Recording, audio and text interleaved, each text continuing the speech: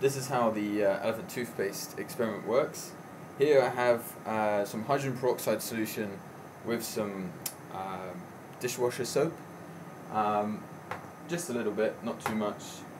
And what we can do is add some food colouring dyes just to the side.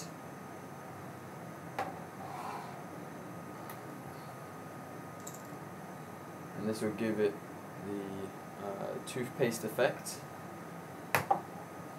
And then what we need to add is some yeast. And now the yeast contains an enzyme called catalase, and the catalase is going to react with the hydrogen peroxide uh, to produce oxygen. And because we have some soap in there, we're going to get lots of nice bubbles.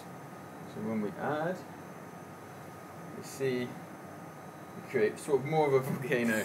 Um, not as much as an explosion. Oh well.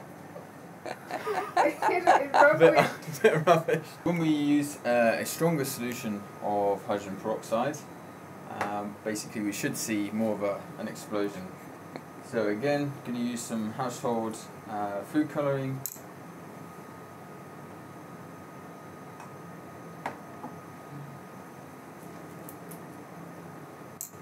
Last one.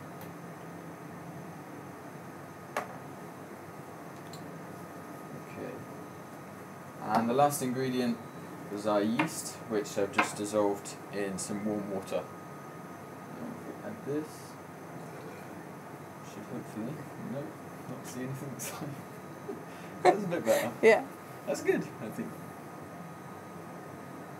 Whee! That's cool. I'm just going to throw the whole batch of yeast. Yeah. Whoa. Whoa.